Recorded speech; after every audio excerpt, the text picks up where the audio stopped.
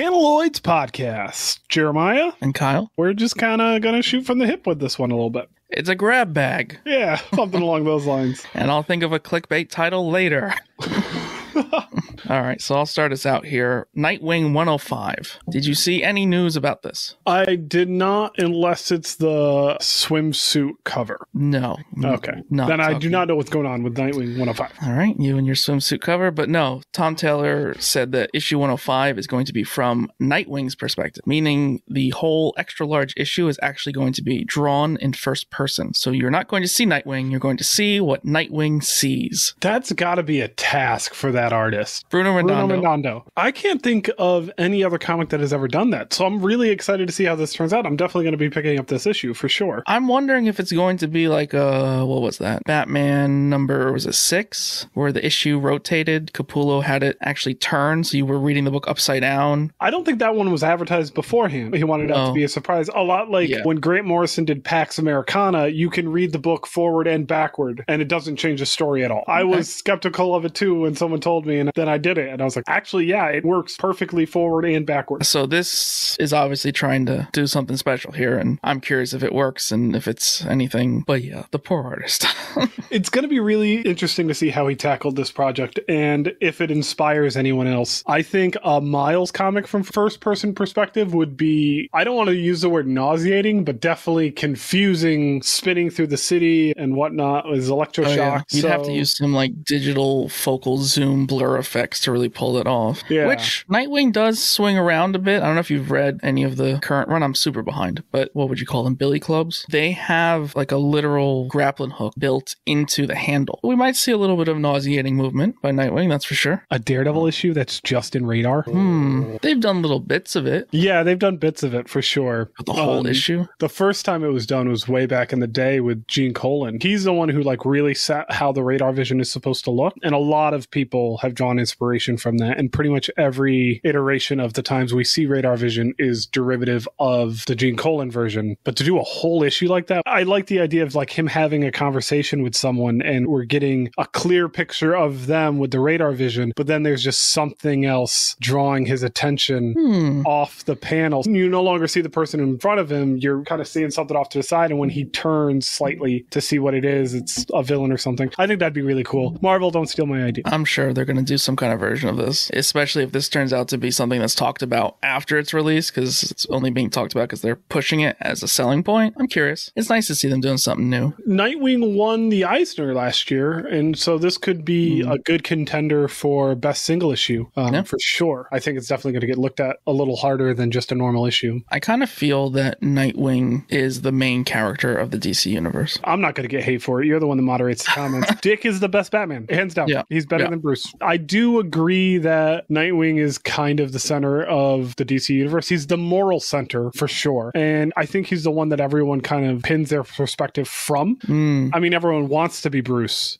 But no one is Bruce. So being Dick is the next closest thing. And it's better, anyways, because he's a better person than Bruce. Well, yeah, I kind of see him as if you took Batman and Superman and made them one character. Like it kind of merges their personality in a sense where Nightwing does do a little bit of witty and sarcasm and here and there, but it stops at that. It's not like Batman who, you're one of my children. I'm going to beat the crap out of you regardless. You're in my way. and speaking of Batman, I don't know if you saw, I'm very tempted. I just don't have the room. They're making the Keaton Batmobile. Like McFarlane's making it, right? Uh huh. Okay. Like a McFarlane Keaton Batmobile. Todd, I just have a Yeah. question. Why does everything have to be Batman related? Every set has a Batman in it. Even the newest set, which is all Hmm. speedsters. The build a figure is Batman. Is it really? Yeah, the Jay Garrick, the Wally West, the Bart Allen, the Barry Allen, and there's one more Mhm. figure, and the build a figure is Batman. I would argue that this is not Todd McFarlane's choice. I mean, the people who saw this movie when they were younger have money now. Batman definitely sells for sure, but you wouldn't open it because you're an asshole. right. so Right, you just and- have a box. With a giant toy car in it. Yes. And then I would have the Keaton Batman also in box, maybe resting on top of it. What are McFarlane figures now? 20 bucks? 20, 25. Right. Gold labels, I think, direct from them, I think, reach 30 occasionally. What makes a gold label? What makes it a gold label? What Um, is actually making it more money? so the gold label is is them going through with a fine tooth comb and popping the details more. Okay. To my knowledge, that's what gold label means. So when you see the gold label Kyle Rayner, it is from the Blackest Night set, but he's the Blue Lantern now. But Mhm. the details on the figure are better. To my Mhm. knowledge, that's what it means. But like No wonder I got him Nekron. Yeah, uh, that was a McFarlane. I think he was 60, but he's a deluxe. So the Swamp Thing was 60. The two pack, the Golden Blue, Booster Gold, and Ted Kord, I think was 60. So my guess, if I had to guess on the MSRP, this is going to be an 80 to a $100 figure, if not 100 plus. I would not be surprised to see it at 120, but I'm thinking that it's going to be between 80 and 100. You know what would justify it? Like they did when we were children. Put a Batman with it. no, they can't Like- do that anymore. They need you to buy the Batman separately. It's so frustrating. I actually am very tempted on the Dark Knight McFarlane set. They look pretty nice. Now, do I need every single one of them? oh, with the Kinda. horse builder figure? Is it a horse builder figure? Oh my god, yeah. With the Stephanie Brown Robin, the Oh, No, I'm Oh. talking about the Nolan movie trilogy Oh, figure. not- yeah, you want to do that. I mean, just because I don't have any of that, and that's just like my favorite. But like you said, there's a lot of Batman, so it's hard to justify another purchase of another Batman figure when I probably have six or seven behind me. And actually, that's an understatement. There's literally 15, and 10 of them are Batman Beyond. So how bad do you want a Batman Beyond movie like Across the mm. Spider Verse? So I actually just made a TikTok, which you know only got 250 views because that's what TikTok does to everybody now. But they're probably gonna get banned. So what's the difference? But I made a stitch to someone who was talking about, for the lack of better words, Batman Beyond's mouth hole. How can they make his mouth correct to be live action? And the TikToker who, forgive me, I don't know, but you can go on our TikTok and find the stitch. But he was saying that he believed that's why there's no Batman Beyond live action because they can't make the mouth look right. And you either have the problem of Spider-Man Tobey Maguire where there's no emotion or emoting whatsoever, or you have something awkward that doesn't do it justice. One person in the comments said, "Oh, do it like Vision, face paint."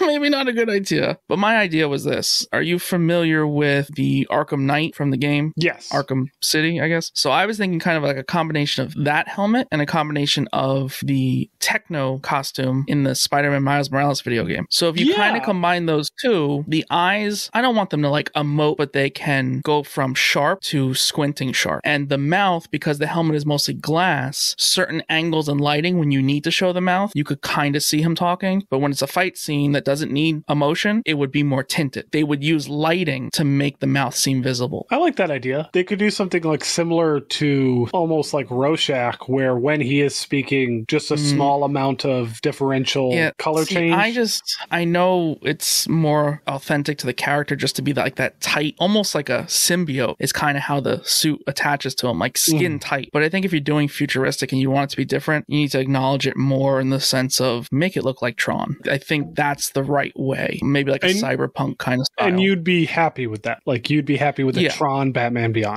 Yeah, I would. And Okay. like I'm heavy into Batman Beyond, so yes, I- Yes, I, would are. say that's my preference. but to answer your question with animated, I know that rumor's floating around. I just don't know if it could come out the same way. And this is me not talking negatively about it, but the supporting cast is different. You're not going to get much comic relief from a Batman Beyond animated, and you can't gear it towards children and have it still be that good. Now, listen, can someone do it? Probably. But I think it's a harder task to pull off. And if they really want to get it done right the first time and not just make another Bruce Wayne Batman, they need to either do animate in the sense where it's done by like some big nasty animation company, pull like an anime studio, pull something that's really like gritty, or they have to do live action. It has to be super high budget and just go full technology blown. That's my opinion. It'll be interesting to see what they do with that. I mean, DC used Mm-hmm. to wipe the floor with Marvel Mhm. with animated movies, Mhm, and they mhm. have. Drastically dropped the ball. I used to love them, and people still love them and still swear by them, but I haven't been a fan of the few I've seen. Maybe I'm going in the wrong direction here, but I don't even want to name them because I don't want to piss people off. But I haven't liked any of the last four or five I've seen. The last one I thought was good, which I wouldn't even rank high, was the Flashpoint one. They butchered Long Halloween. I Oh, haven't I given skipped them. that completely. Yeah, I haven't given them a chance since Long Halloween, Okay. to be honest. Yeah. because they butchered it so bad. While we're talking about all this, and I brought up the Spider Man game, so the Venom voice actor actually leaked. We're supposed to get the Spider Man 2 in September, which is way sooner than I thought. So that's I need to get be. a PS5. that, that's what that means. I was about to say that's going to be most likely PS5 exclusive. And I actually refused to play the Miles one until I got a PS5. Like I waited until that because I saw so many complaints of it not running right. Ran fine for me on my PS4. I heard a lot of complaints and I get very agitated when things don't work correctly. Those are the only two games in a very, very long time that I 100%ed on the PlayStation. I 100%ed Miles, I 100%ed the original one Mhm. for the Platinum trophies. Not that they matter anymore. But with this news coming out, the leak coming out, are they just going to push it back to December? Obviously, it's going to be out for the Mm. holiday rush, is clearly what they're talking about. Right. If I wait to get a PS5, I guarantee I can get a bundle with this thing. Oh, hopefully. Yeah, if you don't have a PS5 yet, probably going to be a bundle with a cool looking Yeah. fucking PS5. Do you remember Boss Logic did a markup for the Miles game and it was the sickest thing? And the problem was other people reposted and everyone fell for it. Like it was just something Boss Logic did for fun. He's And too it was good. the most beautiful thing. The controller too. And then I found out it was fake. And I'm like, because I'm getting this big white chunk of weird shaped plastic going to sit in the living room. Do you think Boss Logic has made a deal with a devil if there is one? Because he's just insane. Anything he touches looks incredible. I fact check now because of Yeah. the shit like the PS5. I fact check it just to see if it's real or not. He did Mm-hmm. a Chloe Bennet who was Quake in Agents of Shield. He did a mock up of her as Rogue, and I lost my Mm. shit. Mm. And this was a few years ago, I think, at this point, but it looked so good. Yeah, no, Uh, he's great. But you brought up Rogue. I wanted to ask your opinion on this. So Jenna Ortega dressed up as Rogue on SNL. I did see that clip. Yes or no? No. All of that's out the window anyway because she's in Born Again and we don't know who she is. And I've been speculating on it myself, trying to pick up issues, but I haven't had luck. I've been losing a lot of auctions and I'm kind of embarrassed about it. Are you referring to Daredevil 112? Get the second print. no. what could you see her as in Born Again since we are on the subject then? Like, where could she be? Because I think she does look young. And I think because of that, they're not going to put her as a Matt Murdock love interest. But I could be wrong, but I'm probably not. My real guess is there's some lawyer that like helps defend him when like his identity gets out and he gets arrested and all that. And I can't remember the character's name, but I thought maybe it would just be like a character like that. Technically it was a love interest, but maybe they wouldn't do that. But what do you think? So the logical part of my brain says Lady Bullseye, of course. She kind of fits the bill for the look. She kind of fits the bill for the seriousness. We don't know what the storyline's actually going to be. It's not going to actually be born again. My two hot takes. How about baby Matt and she is his mother? She's Mary before Mary gives him up and she goes and joins the covenant. And That then very interesting. So yeah, you get to see like baby Matt with his mom because in Born Again he reconnects with his mother, and so that could be a scene where we get the older version of his mother after he gets the shit kicked out of him, and they nurse him back to health essentially, and he figures out that that's his mom, and then it's a flashback episode with her being married. Didn't that Oh. happen though, or am I wrong? It was with his weren't dad. they? But no, but weren't they alluding that one of the nuns that helped nurse him back in the last season on Netflix? Weren't they alluding that it could have been his mother? But it They wasn't. were alluding that she knew his mother. Right. Okay. They weren't alluding that that was Mary. They were alluding that she knew Mary directly. That's a good one. Probably the most likely, but you don't think Typhoid Mary? You don't think that's a Typhoid Mary is another possibility because we got that's a love interest. Eh, yes, it is, but also like she's brutal to him in terms Okay. of what she put him through in the comics for multiple years. So even when it comes to being a love interest, he hasn't been a love interest that long, so they can completely bypass that storyline. Vanessa has been recast, so the Mhm. Kingpin relationship with Typhoid will definitely be more business than personal if she is Typhoid. But if I had my way, like number one choice of what she'd play, Kirsten McDuffie. And this character is Well, the love interest, but also the DA for Volume 3 of Daredevil. Let's go with him in Volume 4 and 5. She's one of the few people that remembers his secret identity, and she was also created by Mark Waid and Paolo Rivera, so hopefully they get paid. But they don't have to go the love interest route by just having her be the DA. She can be the DA hunting him. Mm. News gets out that the devil's back in town. Everyone's got to crack down. You got Detective Cole, you've got the DA, Kirsten McDuffie. The fact that they didn't bring back Foggy has me infuriated. Foggy's more important to me than Stick. in last episode we mentioned this, but I kind of wanted to hear what you say too about it. But with Zdarsky's run ending, I'm not saying it's ending because of this, but let's just say the new beginning is going to be influenced by all of this. And what I mean is that Born Again supporting cast is going to look a lot like the next number one from whatever creative team we get. Therefore, the next number one's not going to have Foggy or Karen as his supporting cast. They're not really in the Zdarsky run at all. Well, Karen's No. dead, and Foggy Oh, has right. Only been around for three issues, and they weren't even in this value. I don't. Think. Okay, so that helps me then. So, who do you see from the current run possibly carrying over? Like, who do you think is going to be his supporting cast in Born Again? Detective Cole. I think they're going to bring Detective Cole in. So grab your Daredevil issue number twos from Volume Six. I don't want to see Elektra because I didn't like the Netflix version of Elektra. And No, before people say that Jenny Ortega is Elektra, shut the fuck up. no, but I mean, from the Zdarsky run, Detective Cole, Kirsten McDuffie can work because she's also in the run a bit, but he has to do a lot of growing to get to that point. The crux of Volume Six is he accidentally murders someone, and so that's the big storyline of he's trying to fix it essentially, and you can't fix something like that, and he only digs this hole deeper and deeper and deeper, and that's one of the best things about Daredevil is because he fights personal battles on a public and physical scale, which is one of the reasons that I love him. But yeah, if I had to put my money on anyone coming from Volume Six or the Zdarsky run, we're gonna get Detective Cole. I don't want to see the Fist. I think the storyline is great right now in the comics. I love Zdarsky's run. I put it up there with Waid's. It's sad that it's coming to an end so soon. It definitely feels rushed. The announcement. I'm sure that they're going to spin it really well and they're going to end it really, really well. I do think that it's rushed due to the announcement. I think you're right on point that it's going to be more in line with Born Again or their Hmm. version of Born Again. What if Karen is dead? Oh. Just coming into Born Again, Karen's already dead. then that would make me look like an asshole because I'm just trying to say like, oh, Marvel's just trying to match the TV show. Well, they always do But if that. right, Oh, but if they're actually trying to stay true, like what if they're actually matching the show to the comics? And you're right, Karen would be dead going into it, and Foggy blames Matt, and that's why he don't talk to him anymore. Yeah, doesn't want anything to do with him. I don't hate it, and it leaves window for at least Foggy to come back. hmm So let me now really throw a wrench into everything. What if Jenna Ortega is not Elektra, but she is Daredevil? Oh, the Daredevil version of Elektra? What if they just say, hey, cool costume?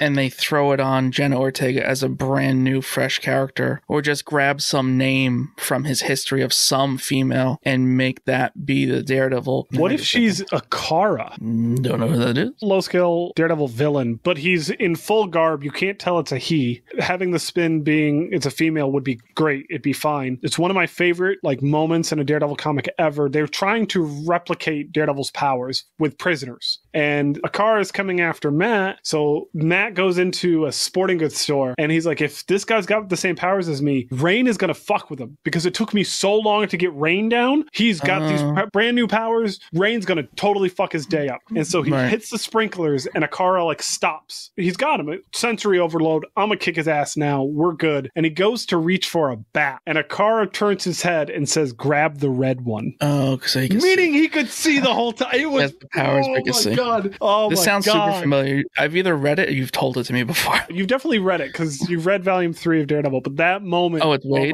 my- okay. Yeah, it's Waid and Samnee, but my God. When I read that the first time I was working at a comic book store, I put the book down and I went outside. Like I was. Why'd you just- throw it? You I've throw only things. thrown two comics out of Anchor.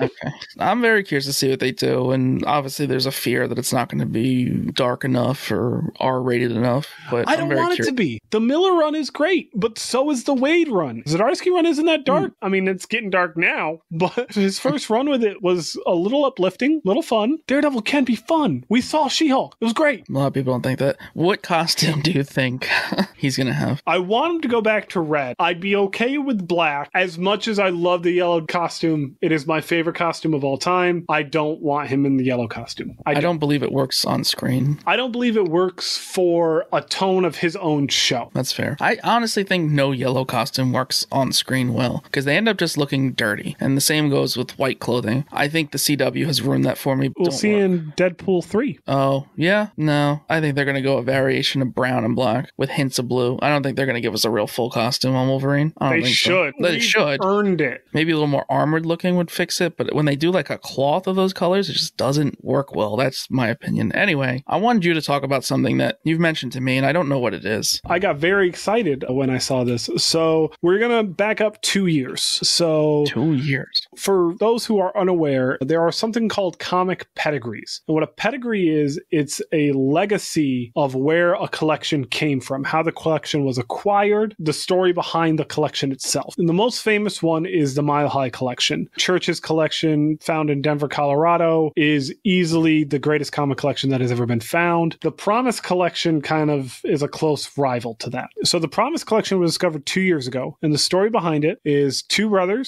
One was going off to war, World War II, and he told his little brother, Take care of my comics. I'm going to want them when I come back. He never came back, but little brother continued to buy the books and store them and keep them in the most protective way possible. So you've got these golden age books that are in insane grades, and they were all graded by CGC. They all got that beautiful gold pedigree label. And so this was two years ago that this collection dropped. And some of the books were record high, huge sellers. And some of those same sellers have made it back onto Heritage two years later. And I think Really? this is going to be a real test of the market. And the one book that I'm paying the most attention to specifically is Detective Comics 140. It is the first Golden Age appearance of the Riddler in a hmm. CGC 9.6 from 1947. How much do you think it sold last time it was on Heritage? I mean, what's a Batman first appearance go for? Batman I first just- appearance is a couple million. I mean, this is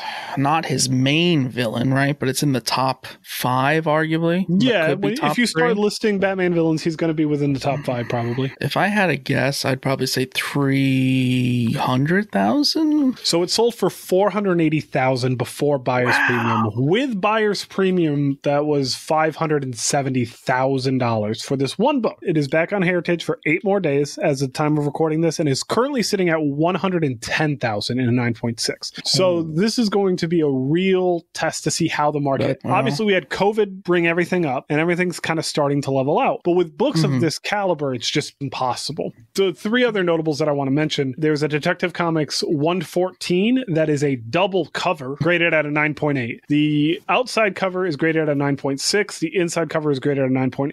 CGC always displays the higher graded number on the outside of the book. On the flip, it's a Joker cover and it is a black cover. It is classic Golden Age cover. It's beautiful. As Hmm. of right now, it's sitting at 35,000. I believe the last time it sold, it sold for 180,000. The last two books I want to mention is Avon's Eerie number one, graded at 9.2. This is the first ever horror comic that was ever released in the United States. I love you, Bill Gaines, but you did not release the first horror comic. This was the first horror comic. Avon released it in 1947. Right now, it's currently sitting at 22,000. I think the last time it sold around 70,000. Beautiful classic book. And then the one that I wasn't 100% sure of, I wanted to double check it. We got Mask Comics number one from Rule Publications. This is a beautiful LB Cole cover. When you hear of LB Cole, it's the one cover that you think of. Like, for example, Oh, we're walking away from our microphone and getting a book. Okay. LB Cole book, like this is the cover. It is a classic Golden Age cover. It is insane to get it in good shape. Rule Publications had terrible quality control. These books would fall apart in your fingers. Hmm. And this one is graded at an 8.5. It is the highest graded non restored. There's three restored higher, two 9.6s, one 9.4. This is an 8.5 untouched. And this tells you how good this kid took care of his collection because this book literally just falls apart in your hands. Eight days left to go. It's at 24,000. I don't believe this one sold last time. Some Promise Collection books were sold privately. I think this is the first time it's been on Heritage. I could be completely wrong there. I could have not been paying attention to it. The day the Promise Collection dropped on Heritage, I ended up in the hospital. so I may have missed how this one ended, but go and look, track them. They're fun to track. Every morning I wake up to a beautiful email to show me books that I'll never be able to afford and what price they're at currently at Heritage. But yeah, it just the Promise collection is an amazing collection. Look into pedigrees. If you're an older collector like I am, it's a really, really fun part of the hobby just to get the history of where this book came from. And if you're a newer collector, it's never going to happen for you. So, two questions with that. When CGC throws the pedigree extra little shiny tag on it, does that do anything with the review process for the grade? Do they give it any kind of more allowances to give it a higher grade? I do not speak for CGC, but I believe that they would. And here is my reason why, because I've had But up front, they don't. I've had personal experience with it. Okay. So So uh, when I was working for a comic book store, we got a book in incredible condition, but it had a two inch spine tear. At the top of the book, it tore all the way down to the first table, just the cover. Other than that, this book was next to perfect. It was a Green Hornet number two from 1941. I submitted to CGC, not expecting anything. I was expecting it to come back 775 because that two inch tear is a big deal. It came back a 9 because it belonged to Edgar Church. It was part of the Mile High collection. So not only do I think they grade a lot lighter when it comes to pedigree books, but there's sometimes reasons why. For example, mm-hmm. Edgar would tear the book if he didn't want to look through it again. Edgar Church never read his comics. He used them as reference material for his artwork. So he would buy every comic that came out, he'd flip through it to see if there was anything he could use as reference. If he could, he'd set it aside. If he couldn't, he'd tear it and put it off to a different pile. So that kind if of makes sense. It's almost like a signature in a sense. In a sense, yes. So if they ignore that, sure, that book was a 9 0 all day. But if they're going to grade it just as is, Right. now your question to me should be how'd they know it was Edgar's? One, the Green Hornet number two was missing from the catalog. Mm. Two, that two inch spine tear. And three, there was a small notation on the inside of the first page. It was like a pencil mark that is synonymous with all other Mile High books. So that's how they knew it was Edgar's. So my second question regarding pedigree is again with the label. Are they noting all of this on that label, like on the back? They don't note it on the label, but they do note it on the website. So if you do get a pedigree book Okay. where it tells you what pedigree it is, you can go and learn the story of the pedigree on CGC's website. As of this recording, there have been 28 known pedigrees, 29 now with the Promise Collection, I believe. I could be off by a few numbers there. The ground rules for a pedigree it needs to be a one owner collection, it needs to be in really good shape, it can't be trash shape, and the collection has to be before 1975. Are there pedigree books that are technically after? Yes, because they were part of the whole pedigree. Gotcha. Yeah, there are some pedigree Okay. books I think that were graded in the 80s, and I think there actually may be a few in the 90s. Not many, I don't believe. The Ohio pedigree is a really fun story. Newport News is a really fun story. I've personally handled books from the Bethlehem pedigree. That one's really interesting. I don't want to butcher the name of this pedigree, but there was a woman who, when she was in the Japanese internment camps in the United States in the 1940s, she collected comics and she kept them hmm. all. And so you got her story of her going through that camp. And the thing that kept her going were these comics. So to get the story behind the book, of course, adds to the value of the book. So Right. with these numbers that I was just shooting out of what these books are going for on Heritage from the Promise Collection, if they weren't a pedigree, maybe knock 20% off. It's probably about that much. That's a big percent though, especially when you're talking sometimes Hundreds of six thousands digits. of dollars. Yeah. yeah.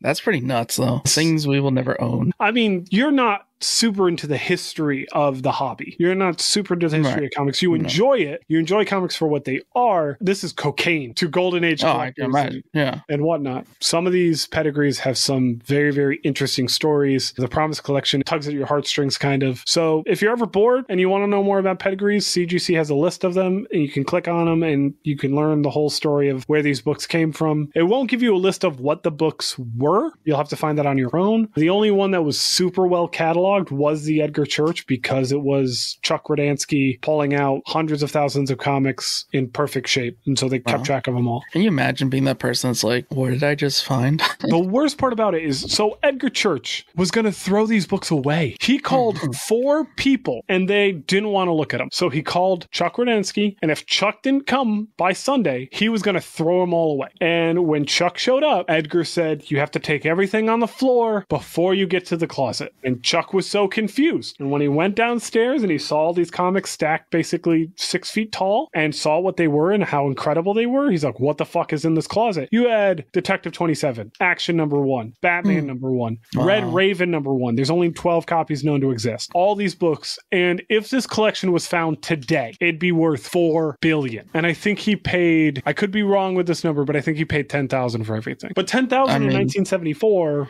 is a lot of It money. was yeah, a substantial amount of money for sure, but still, wow. Maybe I'll look at those little emails, just keep a little track. It's, it's pretty interesting. It is, it is just super interesting to watch. Um, and with that, our grab bag is complete. Yes, thank you for Uh, listening. If you don't subscribe, please do so. If you follow on TikTok, follow elsewhere as well because TikTok might be going down. We don't know. Families Podcast. Panelist Podcast.